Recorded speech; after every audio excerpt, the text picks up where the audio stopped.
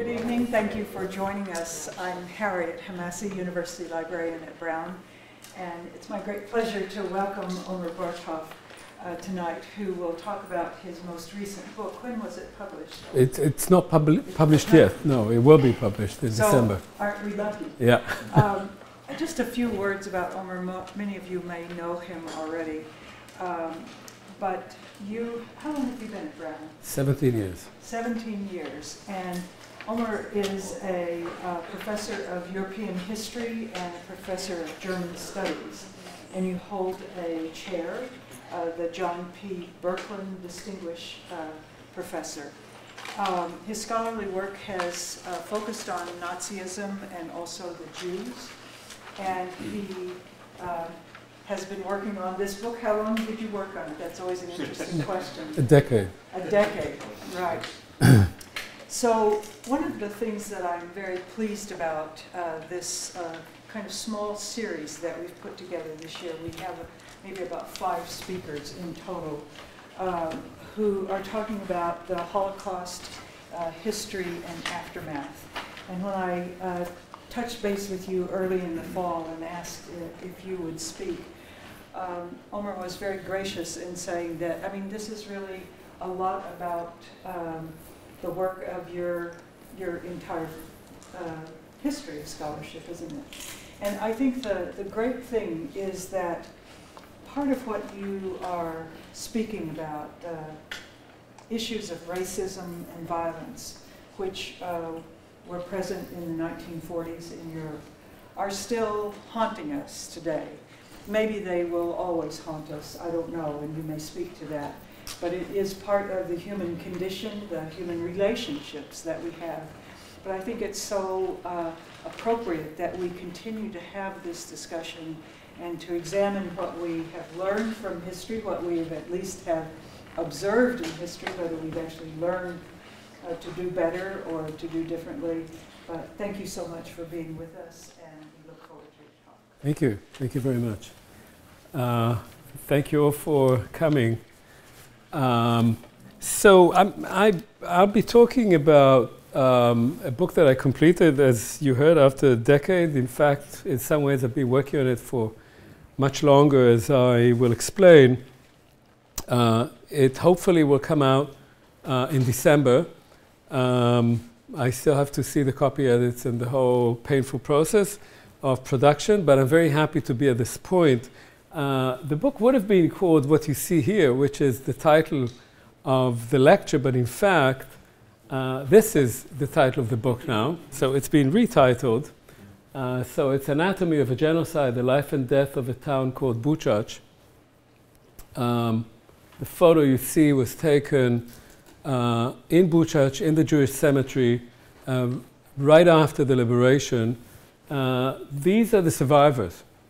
Uh, there were 8,000 people there, 8,000 Jews before the war, and that's the people who survived. I talked with some of them, and they put up a little monument uh, in the Jewish cemetery where um, there was one of the mass graves. This was one of the killing sites in the town. Uh, that uh, monument does not exist anymore. Uh, apparently, the Soviets did away with it uh, shortly thereafter. We don't know exactly what happened to it. Um, but the book began much earlier than that. Um, the reason that I called it The Voice of Your Brother's Blood uh, is really because of my own um, uh, mother tongue, Hebrew and that the term in Hebrew in many ways is more evocative than in English, called Me'achicha. It's very short. It comes in Genesis, and in free translation, in my own translation, it comes, of course, uh, uh, from the following verse in Genesis, and God said to Cain, Where is Abel, your brother? And he said, I don't know. Am I my brother's keeper? And he said, What have you done? The voice of your brother's blood is crying to me from the ground. Uh, and as I thought about uh, this book, as I was working on, the, on it, I understood that the, the book is really about the voices of the people of a place that existed as a multi ethnic entity for about four centuries uh, and then was eradicated as such and does not exist anymore, uh, um, or rather exists only in memory and recollection in testimonies. Uh, but when you go there, uh, the place is there, the site is there, uh, but the people who live there don't actually remember what it was. Uh, and the people who survived that and lived thereafter were living elsewhere and not there.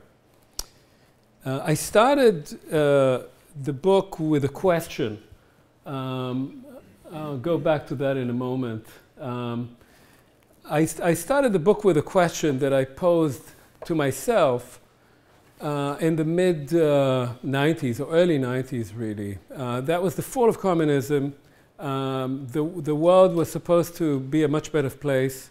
Uh, history had come to an end and everything would have been better, so we read. And right after that, uh, we had the genocide in Bosnia, followed by the genocide in Rwanda in 92 and 94. Uh, and I started thinking about what is the relationship between those genocides, which were very personal, one on one. You may remember in Rwanda, about 800,000 people were butchered in about 10 weeks. It's the fastest genocide in history, mostly with machetes and fire in, in villages by their own neighbors. Uh, often their own priests called them to the churches where they were butchered. Um, and I asked myself, what is the relationship between what we saw in the 1990s and what um, we knew or thought we knew about the Holocaust? And we had a certain view of the Holocaust, I think I was complicit in that, as uh, an event, I even used the term in a title, in a subtitle of a book, as industrial killing. So the Holocaust was this thing where Jews were gathered, say, in Grunewald in Berlin, uh, marched down the street, The neighbors looked uh, through the windows and didn't come out. They were taken to the train station, uh, put on a train, and, and disappeared. They went to the east. Uh, when they arrived in the East, as we sort of imagined it, some went to ghettos and others went directly to be shot or, or into extermination camps. Um, and that's true. And about half of the Jews in the Holocaust were killed uh, in extermination camps, in gassing facilities. Uh, and the Germans uh, tried, um, partly because of the experiences of one on one killing, to create a mechanism of detaching uh, the perpetrators from the, from the victims. Uh, part of it was a matter of ideology, of dehumanizing the victim, so that you wouldn't think of them anymore as human beings. It's much easier to, to kill cockroaches, as they were called in Rwanda, or, or Untermenschen, as they were called in uh, Nazi language. Uh, and secondly, to create a mechanism that facilitates that. Uh, those of you who remember uh, a, a, book by uh, Gitta Sereny, Into Their Darkness, uh, interviews that she conducted with Franz Stangl, who was the commandant of Sobibor in Treblinka, was probably uh, directed the killing of about a million and a half people. he talked about this process that he saw the Jews as lemmings. They would come out of the train and run through this schlauch, as they called it, through this hose, uh, naked and then disappear in the gas chambers. He never saw them as human beings. So that was uh, a system that was perfected, if you like, of mass industrial killing without any contact with the victims. Um, and I remember I went on uh, uh, touring some uh, seminars in Germany uh, to see how the Holocaust was being taught in Germany. Uh, and there were very good students there. They read a lot of the literature, they, mostly the German language literature. They were interested in, in the perpetrators. They were interested in their own ancestors, so to speak. And um, they, they studied the Holocaust through this prism, through this prism of how you organize a genocide. And I started thinking, but there was much more than that. There was not just this kind of killing. What happened to the other half? How does genocide occur when you actually have to come to a family, to a child, to a mother with children, and shoot them in the head? How does that happen on the one to one level, in which about half of the victims actually died. So I became interested in the dynamic of the encounter, the encounter that the Nazis tried to prevent, but that in fact happened in hundreds of thousands of cases between the perpetrator and the victim. And I thought, how do you, how do, you do that? Um, and in order to uh, um, try to recreate that, I went back, as many of us do at a certain age, to uh, my dissertation. Uh, when I wrote my dissertation, I did a kind of local study, but the local study I did was of three German army divisions. And I studied all the people who were in these divisions to see how they behaved on the Eastern Front. And I won't go into all the details of that, but it was a, a kind of local history of what was called in Germany ein Blick von unten, a history from below, a view from below of history. And I thought, well, if you try to do it for the Holocaust, or for any genocide for that matter, and you want to understand the encounter, the best way to do that is to choose a certain location and see exactly what happened in that location. How did genocide occur there? What was the encounter between the perpetrators and the victims at that place?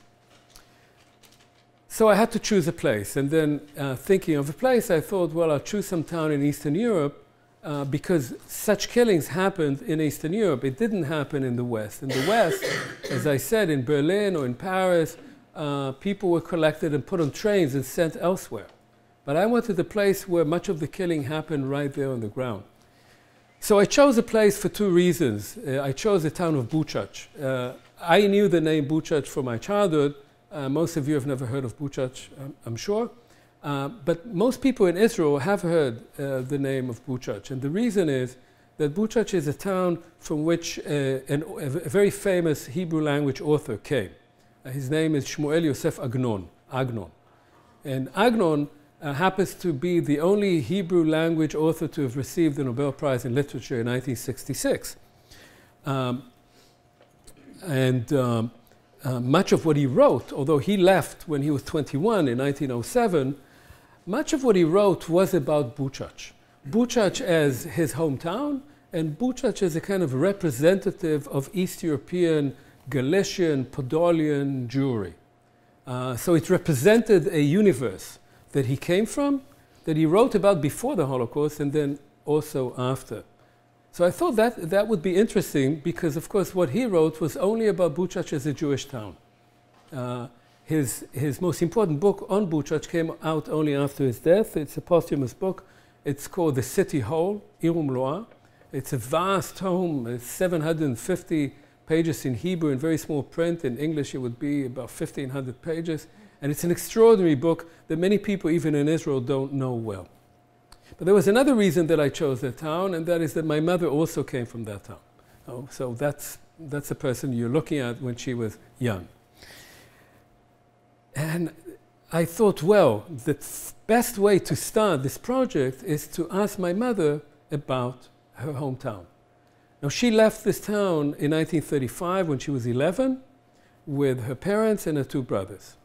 Uh, they went to Palestine, um, and um, the rest of the family, save for two uncles, one brother from one side and one brother from the other side, uh, disappeared, were murdered. Uh, after all these years of research later, I still don't know how my own family members were killed, but they, they were all murdered there. And so in 1995, so you can see that this book actually took much more than uh, a decade in, in conception, I interviewed my mother. And I asked her, uh, I said, Ima, tell me about your childhood. And I had a little tape recorder. At the time, we still had tape recorders. And I pressed the button, and she talked for 90 minutes. Uh, I'd never asked her about her childhood before. And um, three years later, I didn't know that at the time, she, she, she passed away. Uh, but she had the story to tell me. I just had to ask. So she spoke for 90 minutes and she talked about her town, the town of her childhood. Um, and that started me on this journey. Uh, we were supposed to go there together. Uh, we didn't uh, end up going, and then she became sick, and I went there for the first time only in 2003. And when I came there for reasons that you may understand, I was not so sorry that I didn't go with her because it did not resemble what she remembered, which was partly nostalgic and partly because the place had changed so much. So from there, I started studying this town. And as I started studying Buchach, I thought it would be a project of a, a, year or two because how much information can you find about a little East European town? What, what is there left? Uh, I, first of all, I discovered that in fact there were documents in nine different countries, uh, in nine different languages.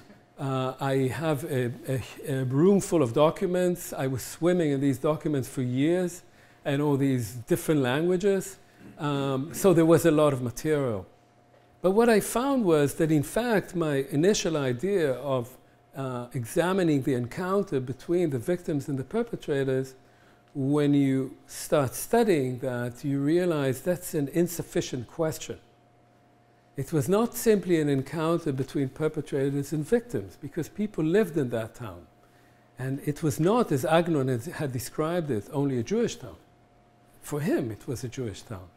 And that's actually what the Jews call the shtetl. It's a part of the, it's a figment of the Jewish imagination. There were no shtetls in which there were only Jews. There were all towns in which there were others as well, so-called goyim, Gentiles. That town had Poles and Ukrainians. Uh, the number of Ukrainians in the town itself was smaller, was the smallest, but the countryside was mostly Ukrainian, with also uh, a fair number of Polish villagers. Uh, and the town itself uh, had a large number of Jews, a large number of Poles, and then a smaller number of Ukrainians. And then I got caught up in the uh, um, what, what, what Marc Bloch, uh, the French historian, called the, um, the myth of origins or the cult of origins. I decided that in order to understand what actually happened in that town during the German occupation, one had to understand how these people had lived side by side before.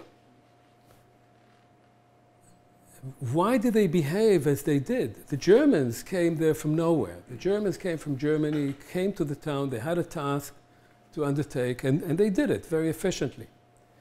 But the, the rest of the people, the Jews, Ukrainians, and Poles, had been living there together for 400 years, side by side. And so this project became something quite different. It became actually an attempt to reconstruct, first of all, coexistence. Interethnic, it wasn't ever multicultural, but it was interethnic, multi ethnic. So, interethnic relations between Jews, Poles, and Ukrainians for centuries of living together. The Ukrainians were not called Ukrainians, that's a whole other story. Uh, but eventually, the people who came to be called Ruthenians and then U Ukrainians, the peasants, so to speak, and the Poles. And the Jews were always ca called uh, Jews there since they started coming there in the 1500s. Uh, how they lived together over time. And when was it that relations started uh, changing between these groups? When was it that something occurred that facilitated the transformation of an interethnic town, of a town of coexistence, into a community of genocide, into one in which not only the Germans came and killed the Jews, but that in fact everyone was involved in this undertaking of cleansing the town, cleansing it of its Jews, and in fact cleansing it of its Poles so that by the end of this process, by 1947, two years after the war ends, uh, this place becomes purely homogeneously uh, Ukrainian.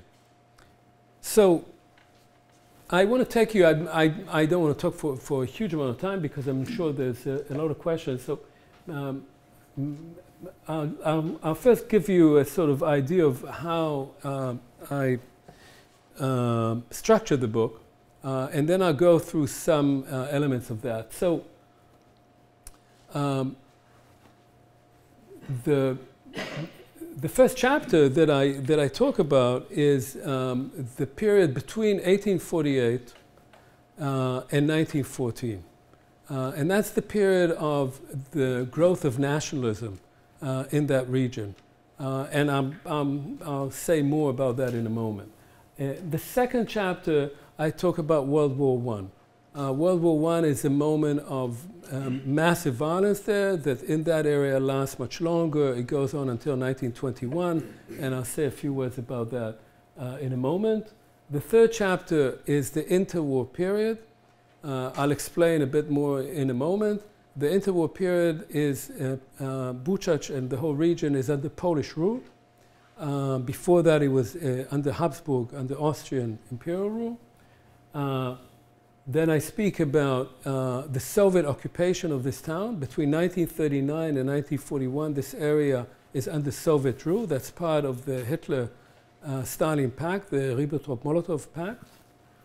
and then the last three chapters deal with the actual events from 1941 to 1944 47, depending on which group, which is divided into the establishment of German rule, what I call the daily life of genocide, which is the Jewish experience of the Holocaust, mostly through testimonies, individual testimonies. And finally, what I call neighbors, which is really about the experience of Poles and Ukrainians uh, in that area. And that ex extends into 1947 because uh, the fighting between Poles and Ukrainians uh, continues after the liberation of that area, at least liberation as the Jews see it, in 1944. It's not seen as liberation by um, most Ukrainians at the time. So that's the structure of it. Now, I just want to give you uh, uh, some ideas. So, in, in some ways, this book was dedicated to the women in my family. So, my, my grandmother, who came from Buchach, uh, my mother was born there, and my sister, who was obviously like me, already born in Israel. Uh, just to locate the place itself, uh, this is a map from uh, uh, the period of the Habsburg Empire. It's from the late 19th century. this area is Galicia. Uh, it's, it's, eastern Galicia. And uh, uh, the town of Buchach is here. So if you want to locate it, any of you who know about Lemberg or Lvov, Lviv, Lviv, Lvov, it's here. So Buchach is on the southeastern edge of eastern Galicia. So it's in the east of the east. Uh, it's uh, uh, a very distant place. It's located next to uh, another town called Chortkov that I'll uh, say more, more about later. Uh, Chortkov was also known as a Hasidic town, uh, but that's also the town where under German rule the security police had its headquarters. Uh, and this security police then was in charge of exterminating the Jews in this area under its control.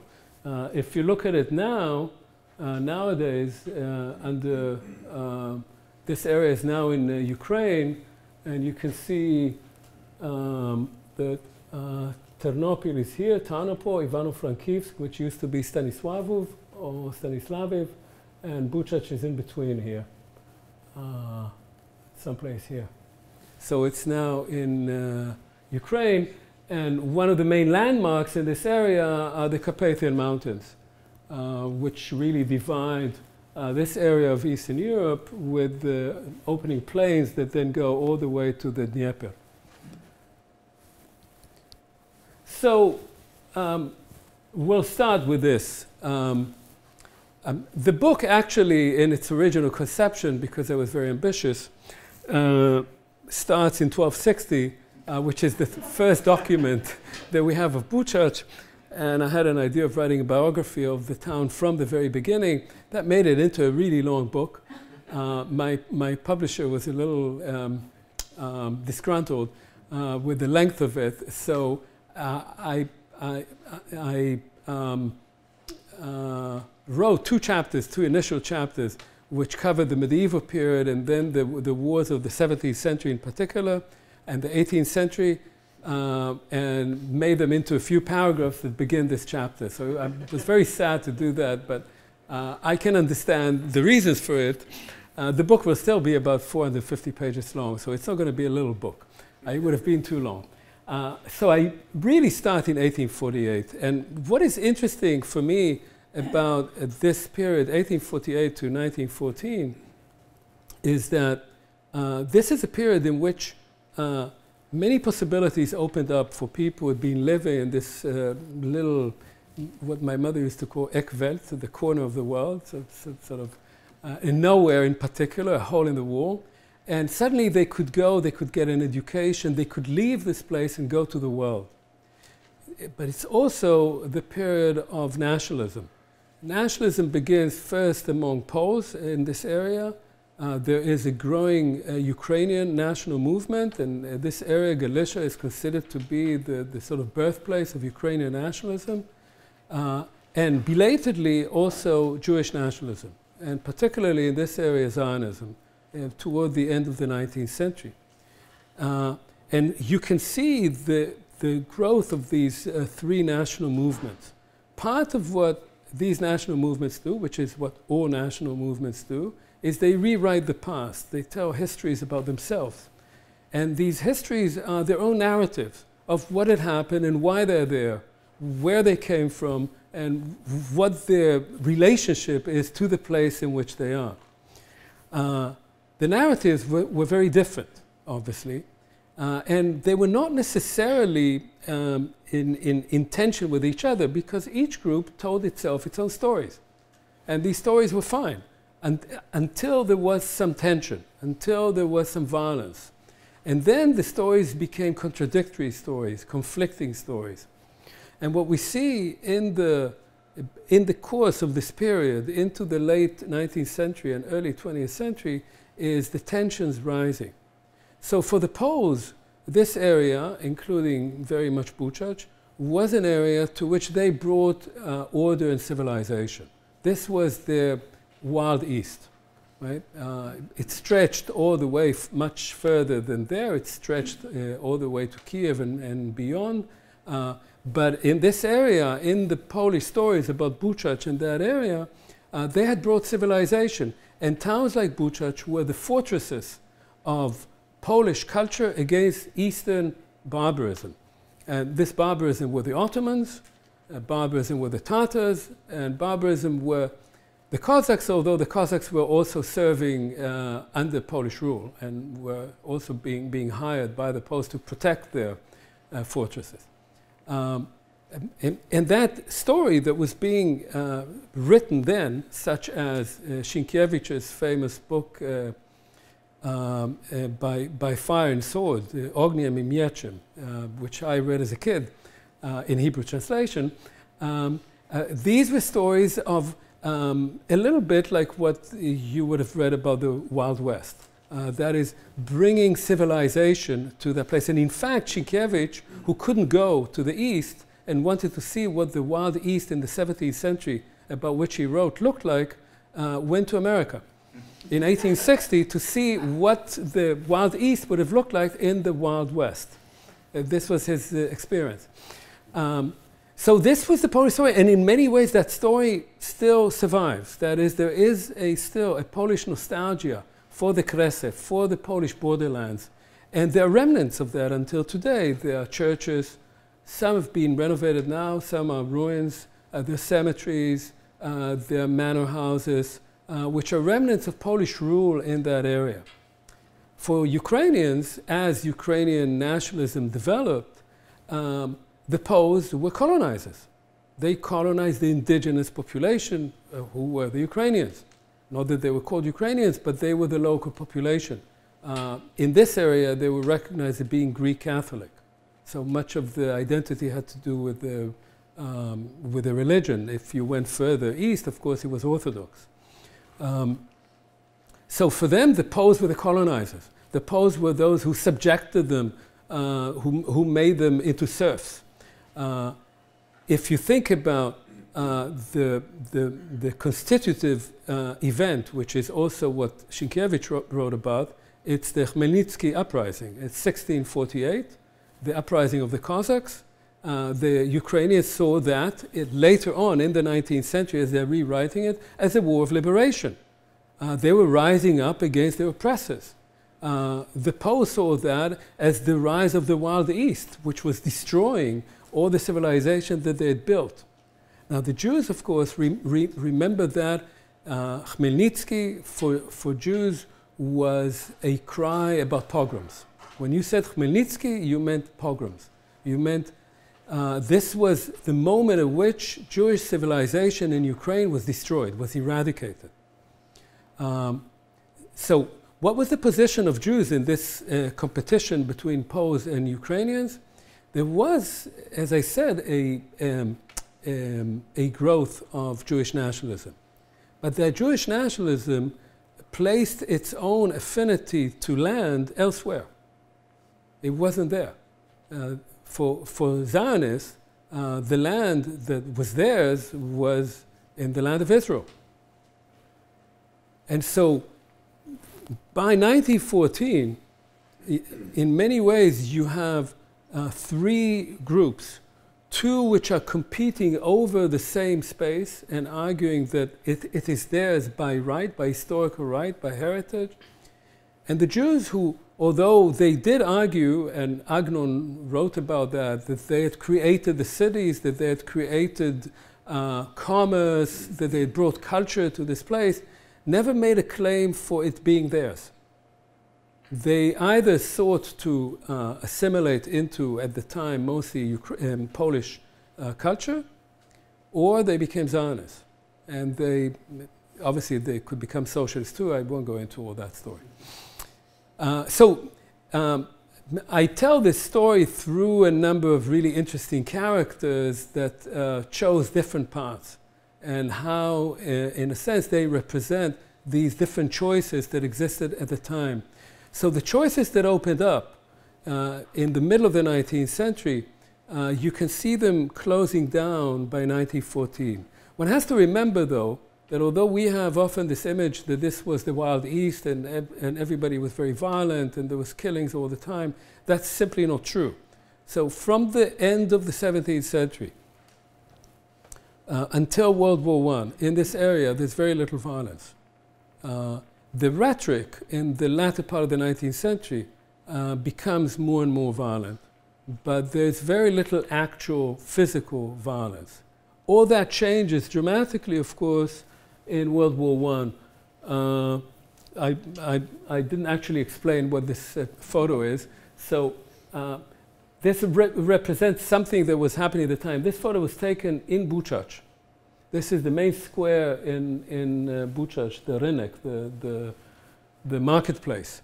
Uh, one of the people here, uh, I think it's this one, is Agnon. Uh, as a very young man. Uh, the picture was taken in 1907, so he was 19. He left in 1909, he was 21.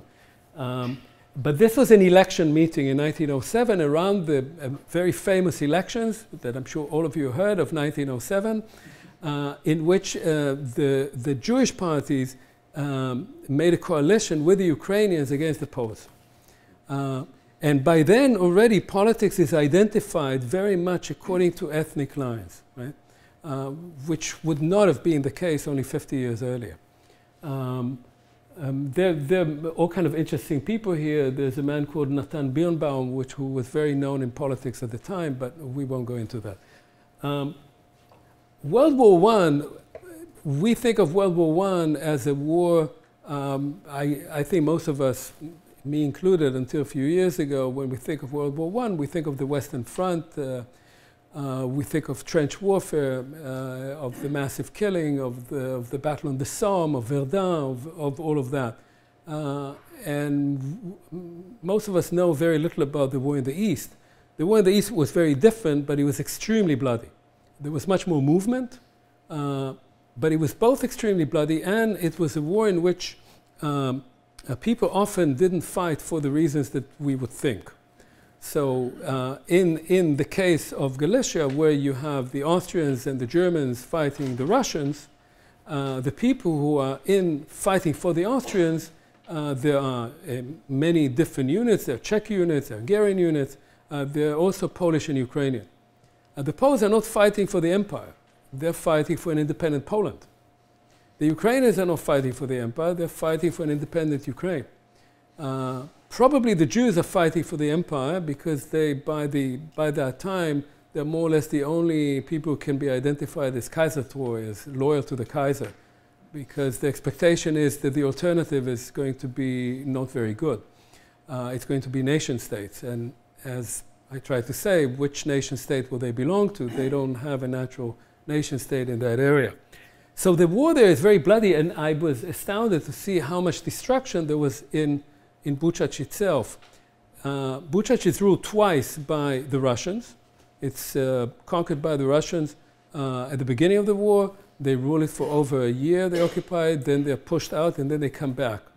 Uh, and the, the violence in this town, and particularly uh, anti Jewish violence, is, is extraordinary. There, there are several accounts.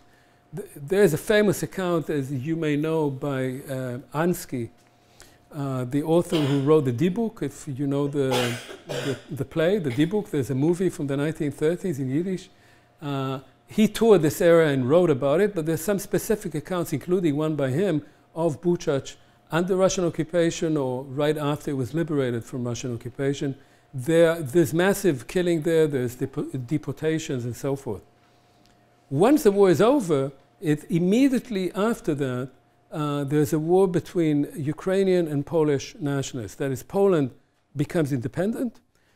Poland wants to uh, keep this area that it sees as its, as its rightful legacy, and uh, uh Ukrainian nationalists uh, want to create and do create a, a Western Ukrainian republic, uh, which shortly thereafter is occupied by the Poles.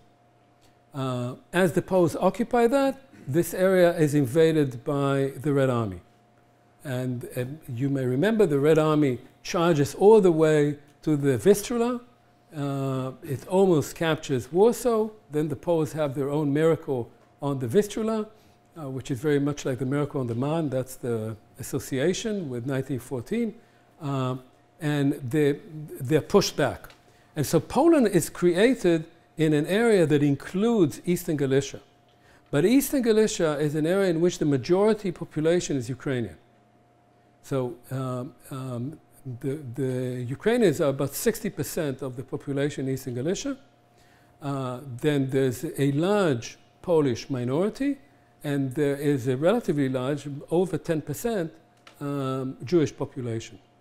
Uh, and the, the 1930s are a period uh, in which you see how the violence of World War I, the disappointment and disillusionment of what had happened um, with the loss of uh, Ukrainian nationhood, um, the, the, the oppression, uh, repressive policies by the Polish government of uh, Ukrainian nationalists create an increasing um, simmering uh, violence in that area. In 1930, there's an attempt by Ukrainian nationalists to respond to the refusal of the Polish government to meet its agreement to grant autonomy to Ukrainians in Galicia. Uh, there's a campaign of burning down uh, Ukrainian properties. The Polish government responds with pacification policies, which are very brutal. Uh, people are killed, arrested, beaten up. Uh, libraries of Ukrainian nationalists are burned down. Um, um, um, um, so it is a kind of uh, policy of increasing repression that results in the growth of the Ukrainian underground.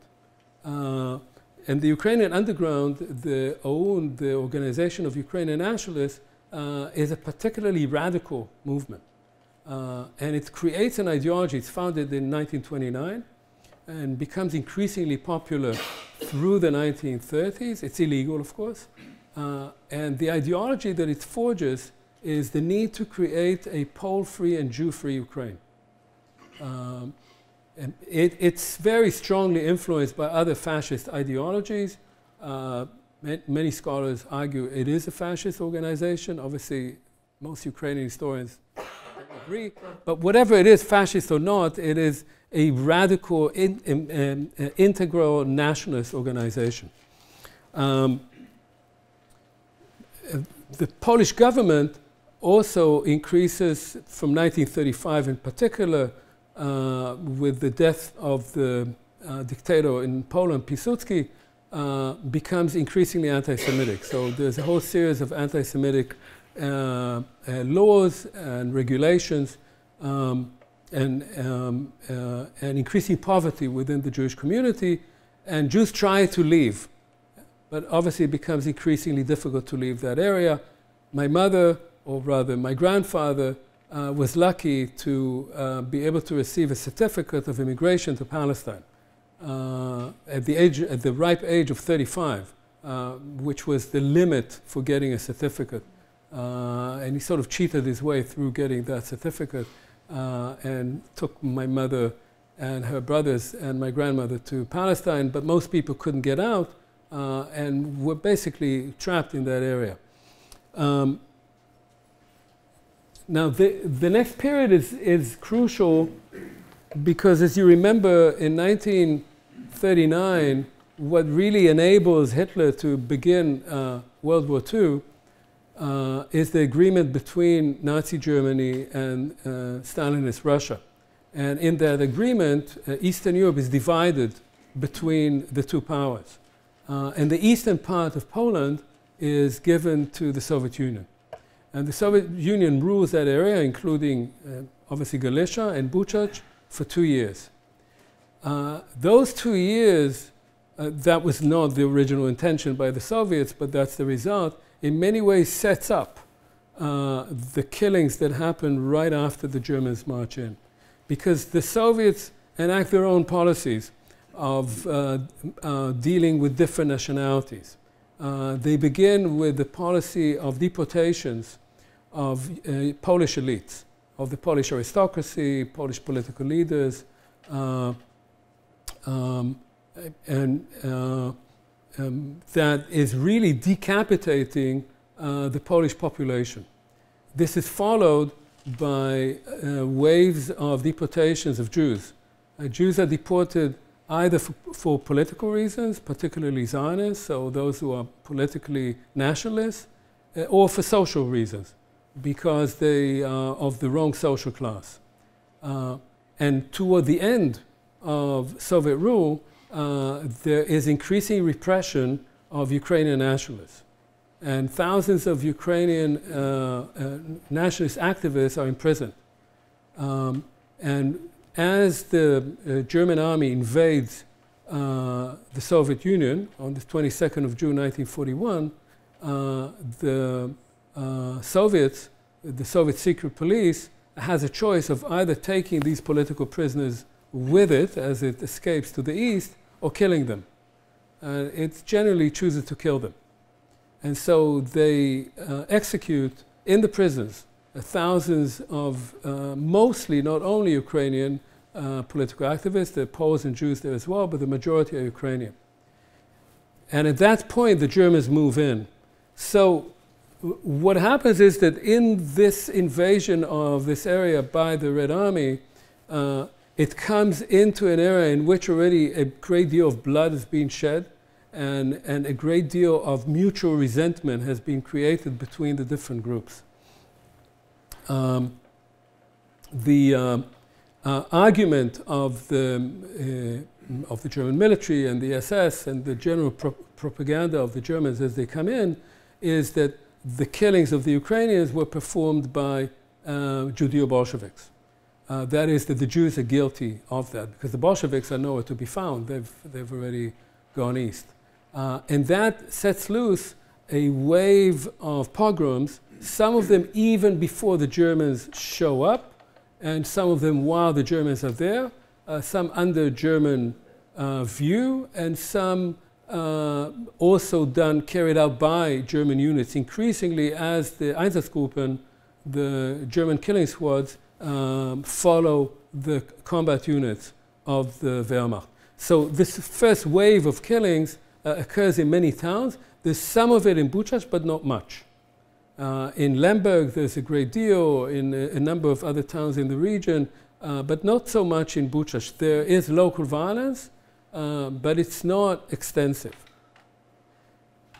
But from that point on, the Germans create their own system. And that system uh, of um, uh, resolving the Jewish question is based on a number of uh, institutions. They bring in uh, the security police. The security police in that area is based in that town I showed you near Buchach in Chotkov. It's made up of between 20 and 30 uh, Germans or ethnic Germans. They're not all German, some are Poles, uh, some are Czechs, but they're ethnic German. Um, so there may be uh, 20 uh, Reichsdeutsche, Germans from the Reich itself. Uh, those individuals uh, kill about 60,000 Jews in the area under their control, uh, mostly in about 18 months, from the fall, summer fall of 1942 to the summer of 1943. Uh, and obviously, they cannot do all of that alone. Uh, so, in order to accomplish this task, this extremely rapid mass killing, uh, they create two other uh, um, bodies. One is they recruit uh, Ukrainian nationalists who had formed their own militias as the Soviets were leaving uh, and the Germans were coming, and they transform these militias into police forces. Uh, some of them are battalions, police battalions. That, uh, there's a police battalion right next to this small uh, German security police unit, or local police in the different towns. Uh, many of the people who serve in these units uh, were nationalist activists in the 1930s. I have many names of people that I know already from Polish police files from the 1930s who then served in the siege, in the, in the militia, and later in the, in the Schutzmannschaften, in the German created um, auxiliary battalions. Uh, secondly, they organize the Jews.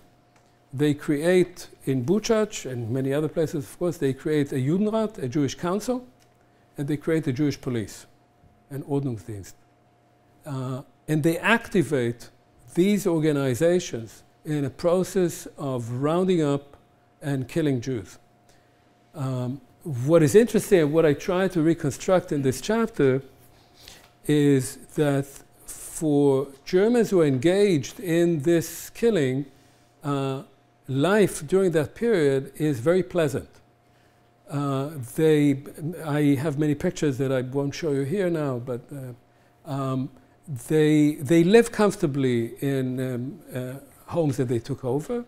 They have very nice furniture. They have cars, they have servants, they bring their families, they bring their wives, they bring their children, they bring their parents. Um, they go hiking, they go skiing. Uh, and in between, uh, every once in a while, if you live in Buchach, every once in a while, a truck with people from the uh, security police in Chotkov shows up in the morning. Uh, the local police is organized, including the Jewish police. They round up as many Jews as they can find, and they take them to one of two sites, the two hills, uh, and they shoot them there. Um, in very large numbers, hundreds, in some cases thousands, uh, over a day or two. Uh, and then they go away, and then people resume their lives until they come back. Uh, now, what is also important to understand is that there are these people who come from Chotkov and they don't really know the people in Buchach, but there are policemen in the town of Buchach who live there and who know the Jewish population. They know them by name, they interact with them. And they're not only policemen. In a town like Buchach, there was a railroad tunnel and a bridge. They were blown up by the Soviets as they retreated. They have to be rebuilt. They bring in a construction company the construction company comes with its own engineers. The engineers come with their families because they're going to spend a long time there. So you have an entire social entity there. They have Jewish maids, they have cleaners, they, they have a dentist, they, they, they have a whole apparatus set up, and they know these people by name. And then they see through their windows how these people are led out, sometimes right on the street under their window and shot. Moreover, uh, some of them, particularly some of the young men, like the engineers, the foremen, and so forth, who have no business with the killing, they are doing their own job, are curious about it. So they go and they look. Uh, they, they describe the mass killing sites. Um, and some of them uh, also carry guns because for, for security, so they participate. So what you find is that this local genocide is a case in which everybody, in one way or another, is participating. Uh, when you hear testimonies of these engineers that were given, say, 15 years later, they said, I happened to have been on an errand when the action began. And when you hear the fifth or seventh person saying, I was on an errand, you ask yourself, how come they were all on an errand? So obviously they were not on an errand. They knew there was an action and they went to see either because they were curious or, as some of them admit, because there was actually uh, property to be had, right? Because these people were taken out of their homes. So, um, quickly to wrap up, in the chapter after that, uh, I talk about the same events, but from the point of view of the Jews.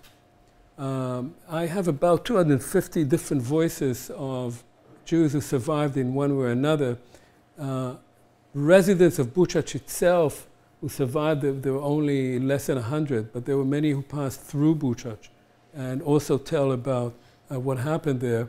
Um, and what interested me most in this chapter was in many ways how Jews talk about their interaction with others, with Poles, Ukrainians, and sometimes Germans, Wehrmacht people, and even SS. Uh, because survival uh, depended almost uh, entirely uh, on choices made by other people.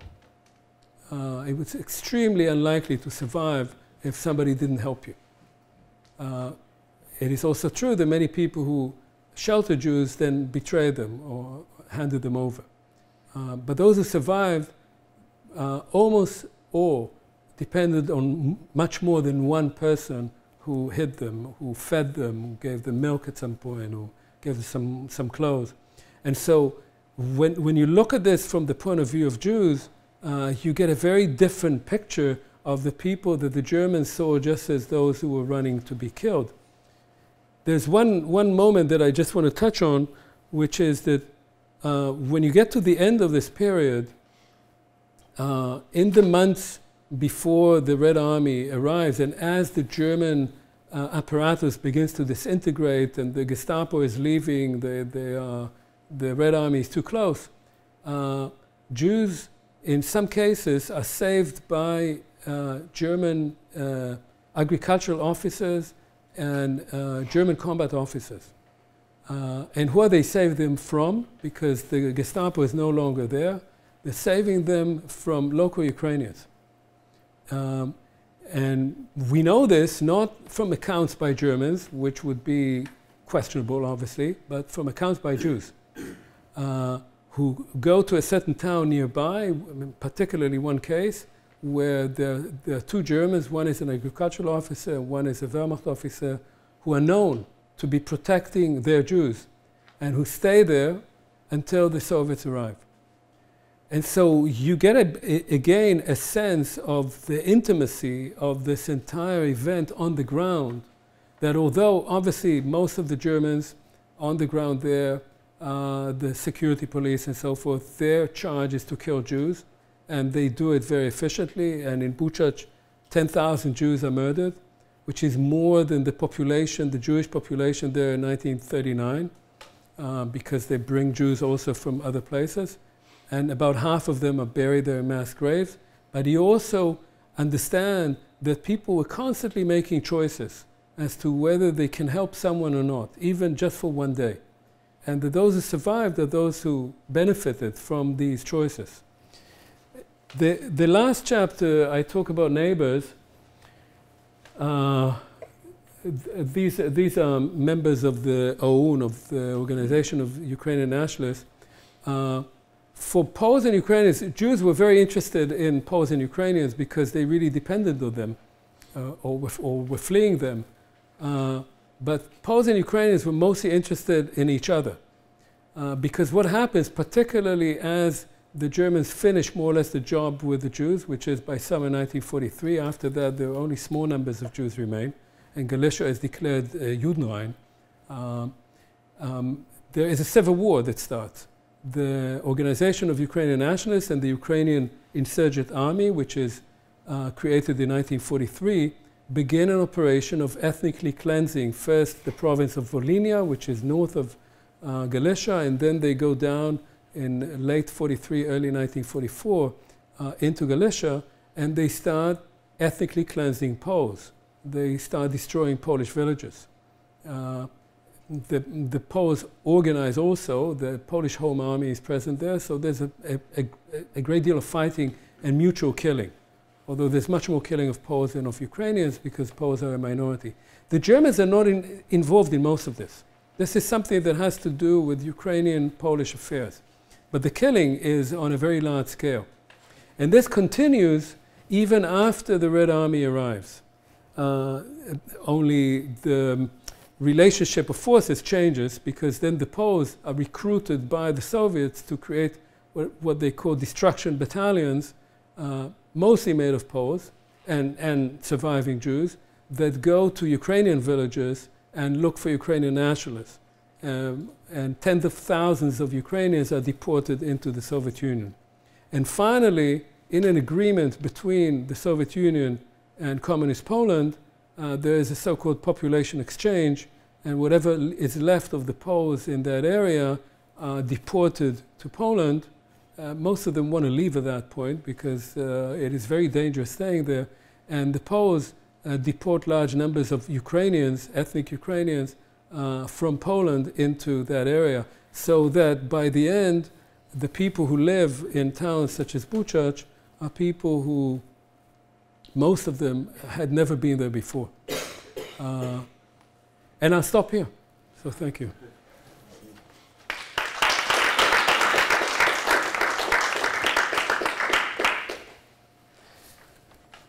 Uh, yeah, I'm, I'm uh, sorry, this is just, uh, uh, so this is the Jewish cemetery, and this is the Fedor Hill. The town is in the middle.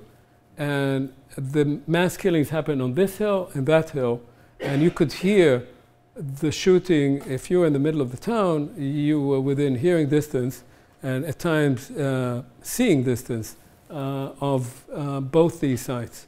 And they're still uh, sites of mass graves, and they're not marked. Um, yeah, okay, I won't. Yes. So what were the major kinds of sources, for example, from the period from, let's say, 1935 to 1945, that besides the, mm -hmm. the, the, um, uh, the, the, individual stories mm -hmm. that people that you were able to interview that kept, what, what, what, sort of records were kept by the various mm -hmm. groups that were either affected or were uh, affecting the, the, the genocide? There's huge amount of sources. So from 35 to 39, uh, most of the sources uh, come from Polish archives, uh, but not only from 35, um, starting in the 1920s. you have administrative sources, you have economic sources, you have demographic sources, and you, and you have police files, extensive police files on political activities on um, opponents and so forth. So um, much of what I know about, say, the Communist Party there uh, is from Polish po police uh, uh, files. What I know about the Ukrainian nationalists there is from Polish police files. So they, they have very intensive investigations. There are also rather interesting German reports, especially from the latter, just before the war. Uh, the Germans had a representation in, uh, in uh, Lvov or Lvov, uh, and they had one in Czernowitz, and they're reporting. Uh, they have people travel in the area and report on inter-ethnic uh, uh events, and you have Soviet uh, reports as well. Uh, that's until 40. That's until 39. Between 39 and 41, there, there, are many Soviet records for that period. from 41 to 44, you have German official records. Uh, then you have a lot of records of the underground, of the Polish underground, of the Ukrainian underground. Uh, these are sort of official reports, and that's quite apart from individual accounts, uh, diaries, testimonies, uh, and so forth. Uh, yeah. What are the what do the official Ukrainian reports say about who is responsible for the killing, the mass killing of Jews? Um, they, the the uh, Ukrainian uh, underground, there, there's a um, there's an office of their own in Ternopil, in Tarnopol, and uh, they they don't have much to say about the killing of the Jews. Uh, they're, they're not really concerned with that. Most of what they report is about the, either the fighting between the OUN and the Home Army and other the Armia Krajowa, so between the Poles and the uh, and the Ukrainians, or about German policies and their relationship to German policies, or about Soviet policies. Uh, but they're not particularly interested in uh, what's happening with the Jews. And the moment at which you have more uh, Ukrainian reports is really from 43 on. So there's also less to say about the Jews because much of this is over. Uh, and from that, their point of view, it's not particularly interesting anymore. When were the mass graves exhumed? The mass graves, okay, so um, the, the, the, picture that you see is from right after the Soviets come. I, I, didn't go into all of that, but the, the Red Army arrives in Buczacz first in March 1944, and 800 Jews come out of hiding, which is a large number. Uh, however, uh, which tells you it, it's, it's interesting, there are various interpretations how come so many survive. However, two weeks later, the Wehrmacht returns and these are SS divisions. Uh, and almost all of the Jews who came out of hiding, who obviously can't walk, they've been hiding in bunkers underground for months on end, uh, are killed. Uh, and very few manage to flee with the Red Army, which, from its point of view, is only executing a tactical retreat. It returns in July. Uh, and then it returns in force, and then it um, takes over the area and then it, it uh, excavates. So the excavations, the exhumations in Buczacz are done in October, November 1944. Uh, and they're, they're interesting in that uh, there's also, so they, they create a committee that investigates that. The committee initially has locals, including a number of Jews. Uh, in early October, by November, when they report, it's mostly Ukrainian, and the report changes. So it's either Russians or Ukrainians, and it's all good uh, Soviets. Your mother was born in 1924. Exactly, yes. What was the population of the church at that point, and how many Jews? And when you uh-huh. go over the years, what's the population? Yeah. So that, um, the population changes over time, and yet more or less stays the same. So it's, it's quite interesting. Uh, there were about um, uh, 14,000 Jews on the eve of World War I. By the end of World War I, the population has been more than halved. Uh, of that population, in 1914, about half of the population are Jews. Uh, the, the height of um, uh, Jewish presence in Buczacz is in the 1880s. In the 1880s, about uh, two thirds of the population are Jews. But between the late 19th century and 1914, the Jewish population, their, their share in the population diminishes because many people are leaving. Right? A lot of Ukrainians are leaving to North America, to Canada and, uh, and the United States, and a lot of Jews. Uh, so the, the proportions change. Um, now, between 1921 and 1939, the population rises again. So it reaches about 15,000.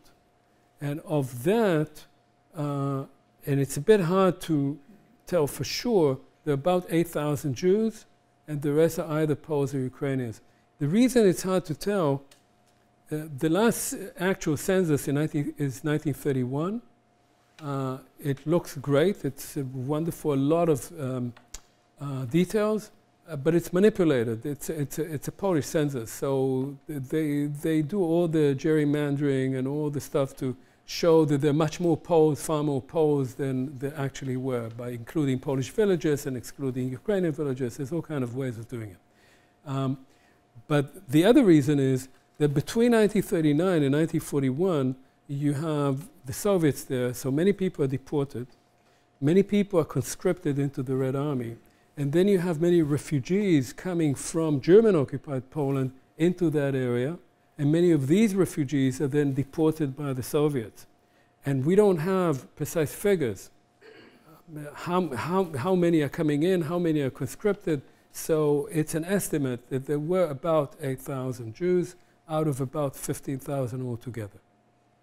Uh, by the end of uh, World War II, uh, the, the population, I mean, you have reports by Soviets who come to the town, they say the town was empty. There was nobody there. Uh, but many of those who were not there had fled just uh, a short distance and then they come back. Uh, they're mostly Ukrainians and Poles. Uh, but we're talking a few thousand.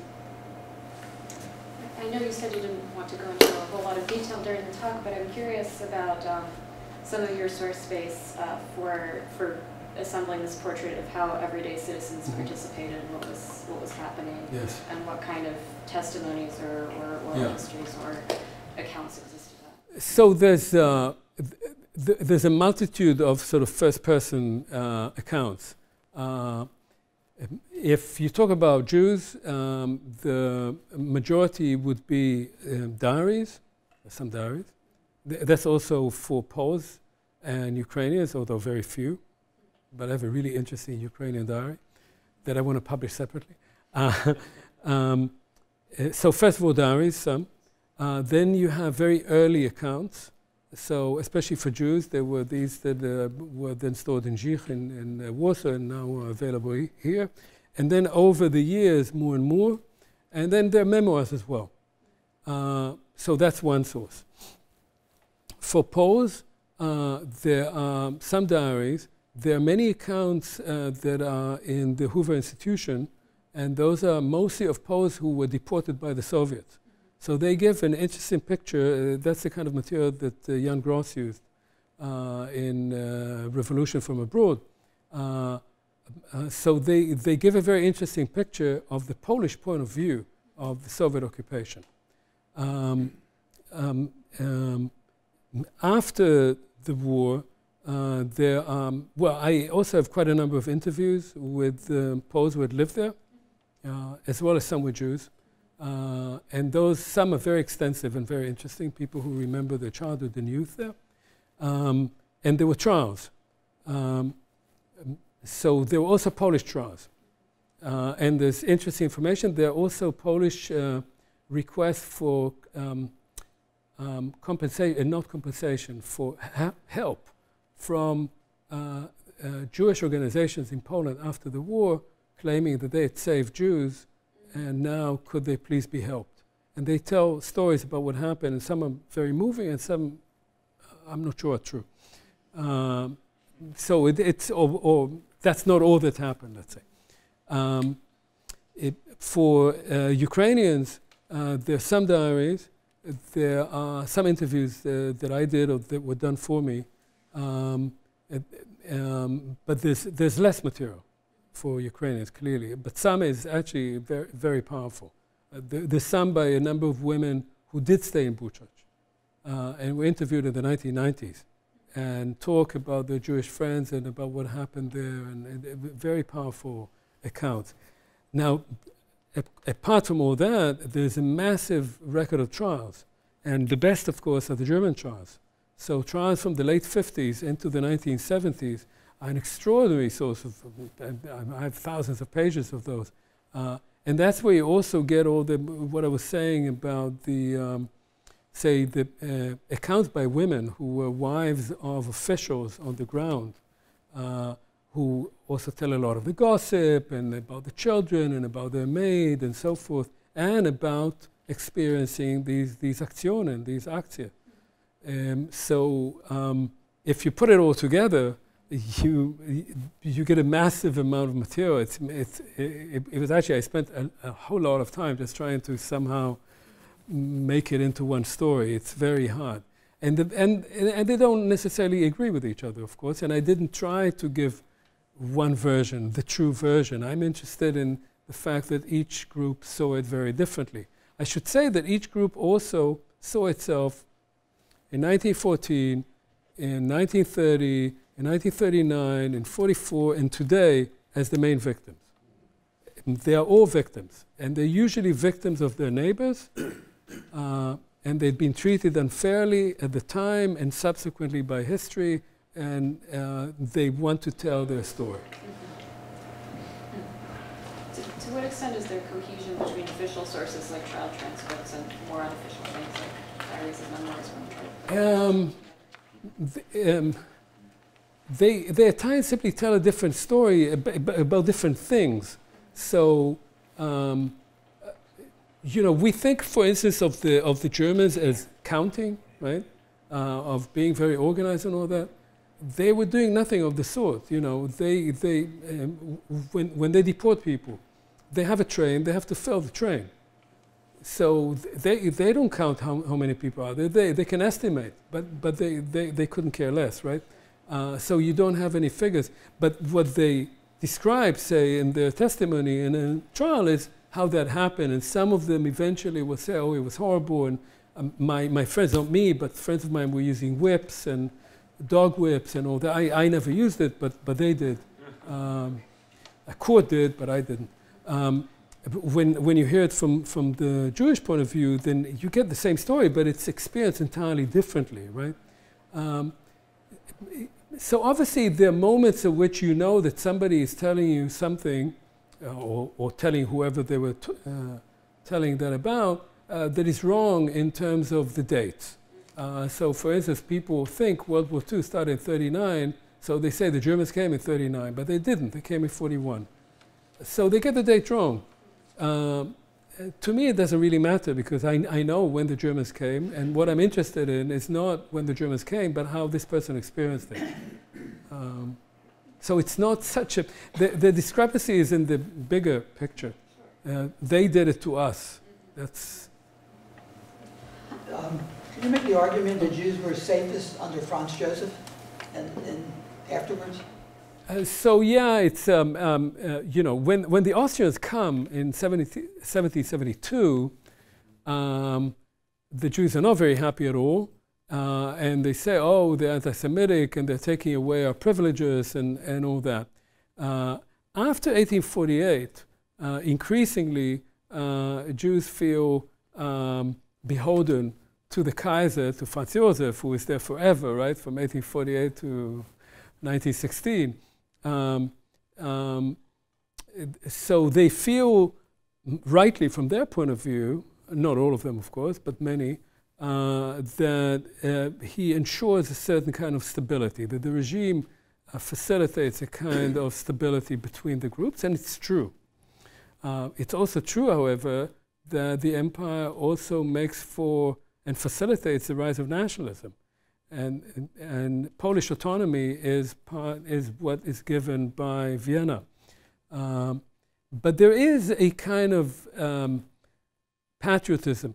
It, it, you know, it changes, and it's, it's quite interesting to see that, that you have a generation, the, the Poles write about it too, that you have a generation of Jews whose uh, language, the language they choose is German. And by the late 19th century, they opt for Polish. Uh, and the reason is simple because you want to go to university, you want to go to Lemberg, and now it's in Polish. Uh, so uh, Poles see it as Jews will go wh- wherever the power is, right? And they, and they talk about it. You can't trust them, they'll, they'll go with whoever. Uh, Jews feel this is, you know, we, we want to adapt to whatever the situation is. Um, the Austrians originally see the Jews as those who would uh, help Germanize the area because they speak a dialect that is kind of like German, and what we need to do is Germanize them.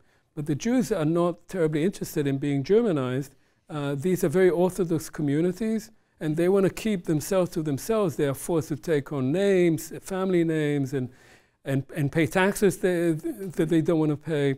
Uh, and the Austrians are very disappointed that the Jews don't want to be German. Uh, so it's a bit more of a complicated story, right? But yes, by the end, they are Kaisertreu. Yes. Interesting. Um, you said that all these groups were neighbors and knew each other. Yes. To what extent was there interaction uh, among them, and, and Yeah. what forms did it take at any? So it depends also uh, at the time. There is always interaction.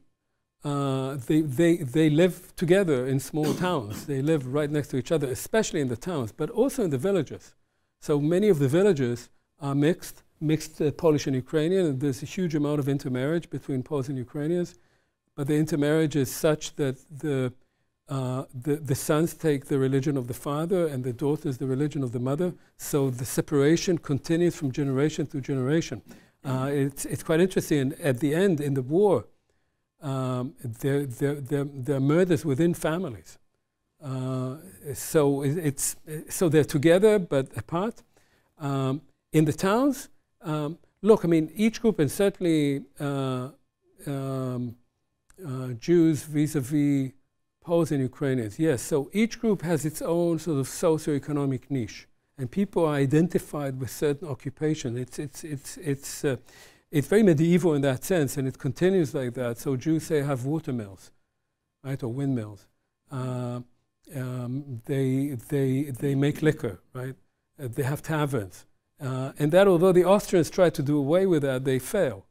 And so it stays like that. And so they are identified with certain trades, certain occupations, but they're also living next to each other. So you hear people saying from the 1920s and 30s, we went to school together. We studied together. I used to go to my friend's house. Uh, she was good in math. She taught me math. Uh, I ate their food you know, the, the Jews had sweet bread. I, I went to the Ukrainians and we used to sit and sing Ukrainian songs together uh, as we're peeling uh, corn. So um, they, they know each other very well, but they also know that they're different. And I think often what you hear, uh, and you have obviously more voices from the 20s and 30s because there were still people talking about it after the war. The children are much closer. As they grow up, they move into different groups and there's a greater distance. Um, but it's, it, it, it's intimate in the sense that everybody knows everybody else. Um, and um, I think that part of it, and, and that's, I, I started talking about Rwanda and, uh, and Bosnia. I think that part of the, and I didn't go into these details, but part of the really gratuitous violence that you see there, really horrific stuff, axing people, and uh, is also partly dealing with this intimacy. There is something in this uh, intimacy that forces you to be particularly violent, much more than if you were a complete stranger. If you're a stranger, you take a gun and you shoot somebody. But um, this knowing people and having to make the leap from knowing them, from remember your relations with them, to killing them, uh, somehow includes rape and mutilation and, uh, and awful stuff. Um, so, so that's part of this dynamic. Uh, the, the Germans are much less interested in that. They, they just go and kill people. There is, of course, a lot of sex going on and other things. And um, uh, I should say, I, I didn't say that, so I'll just. Uh, the, the, the one thing that you really see very clearly is that when you have this kind of local genocide, you don't have people just standing and looking. Uh, there are no bystanders in this. That simply disappears. Everyone is uh, engaged in it. In, to one extent or another, in one way or another, often people change their roles they can be victims at one point, they can be perpetrators at another, then they loot some stuff, then they hide somebody, then they give them away. Um, but there, there is no, this idea of passive onlookers doesn't exist in, uh, in small places when there's a sort of daily routine of genocide.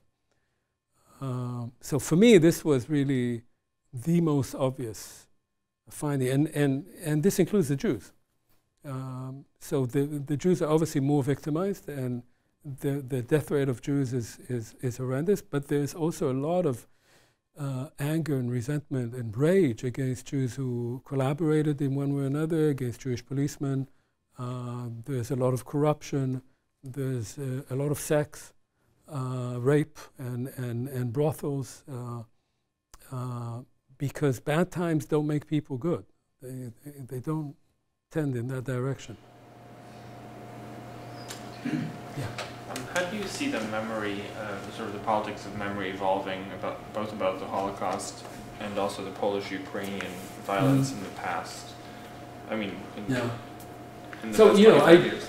I wrote a, a, a little book 10, 10 years ago that dealt in a, a little bit with that as I was doing research for this one, uh, Erased. And so that was about the politics of memory in Western Ukraine. Um, you, but since then, it's been another 10 years. Uh, it's moved in both directions, I would say. It's, it's actually quite fascinating. Uh, I know Harry is uh, sort of studying that. Uh, so on the one hand, certainly in Poland, there, there has been a great deal of coming to terms with issues that had not been spoken about, uh, starting famously with Jan Gross, with neighbors, uh, um, and the great difficulty in Poland to accept that Poles were not only victims but also victimizers. Um, but as you know, there is now um, a sort of boomerang effect of that. Uh, and much that you could have said in Poland uh, 10 years ago now has been criminalized. Um, and, and, and people, especially young historians, are under a huge amount of pressure uh, not to say things that they would have otherwise said. Uh, and they often need cover from uh, Western historians to, to help them uh, do that for them. Uh, in Ukraine, it's all been much slower. It's been very difficult to come to terms with this. Ukraine is a very complicated country. It has its own conflict of memories between East and West, between nationalists and Soviets. Um, there are some uh, fantastic young Ukrainian scholars who are trying to do that, but there are very few, and uh, often I find that they ultimately have to make some compromises if they want to stay there and have a job. Uh, so it's very hard. And, and, and in Israel too, it's a very complicated story. I mean, there's still, you know, uh, the sort of popular view. I used to tell people that I'm going to Ukraine, they, they tell me, especially people who came from there, they say, oh, you, you should be careful, you know, they're, they're all oitrim, they're all murderers. Uh, you know, uh, so the, the, the, the stereotypes are still very powerful. Uh, and not only popular stereotypes, it sort of seeps into. And then you have things as we had with, uh, um, uh, with uh, Yushchenko, for instance, that uh, Yushchenko wanted Israel to recognize the Holodomor as genocide. Not the world, but that Israel would recognize the mass famine in Ukraine as genocide so that we would have ours and they would have theirs. So there's this, we recognize that, but you have to recognize ours too. And of course, the Holodomor, well, it was the Bolsheviks. The Bolsheviks were really Jews, so, you know, we're quit. Uh, so there's that too. Yeah, please. Um, normalization of violence. The normalization of violence, the economic opportunism that resulted from that, um, the, the rise of nationalism, the anti-Semitism. Um, all these components are active now in the world. Yeah. Uh, based on your research, um, are there any, is there any advice or, or any wisdom you can offer regarding patterns of human behavior and what seems to me, to me, to be a kind of a, um, a societal sociopathy that keeps coming up in different places. I was, I'm very interested that, that you're saying knowing others and personalizing can create greater violence between parties because I always made the presumption that to know others has a, there's an intimacy and you would be less likely to violate someone else. Yeah, So, so. I'm interested in what you think Yeah. about these issues. Um, you know, I mean, if I, if I had a good answer, it, w- it would be great, you know. Um, I'd write a little book with that answer. It would be a great bestseller. Uh, but I would say, um, one thing I would say is what any, anybody who studies genocide, any genocide would say, is that the minute you see that one group in any society is being identified as less than human, you should start worrying. Uh, whatever it is, whatever you call them, the minute you identify a group as they don't, they're not like us, they're different, they, are, they, they do these things, uh, you should worry. That's one thing. Uh, the second thing, um, I, I think, you know, what, what happened over there is not going to happen there again uh, because that situation is being solved, right? Uh, everything is being simplified. There are no intermixed groups anymore.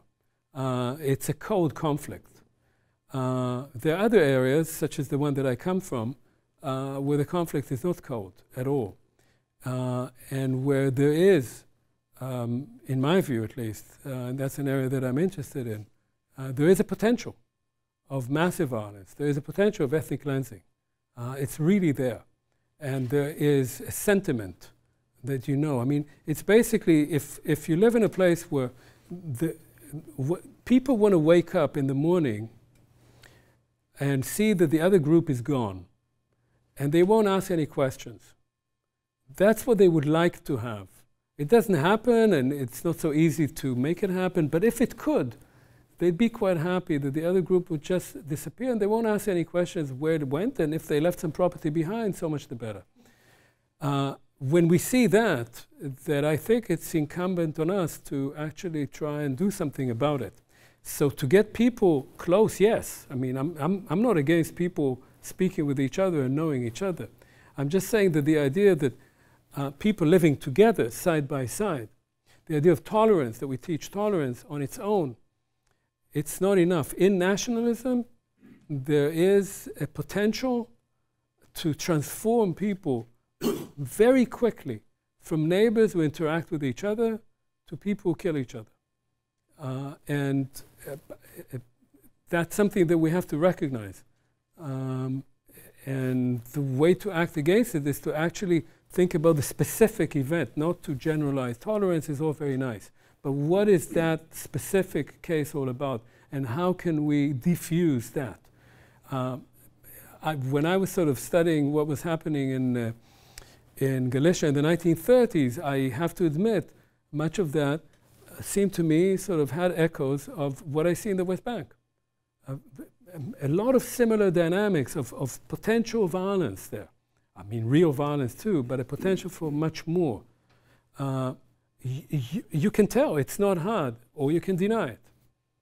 Um, that's just one case. I mean, there are many other cases around the world. I just uh, happen to know that quite intimately, that one. Uh, but otherwise, I don't know. Uh, uh, we need to elect the right leaders, for one thing. Uh.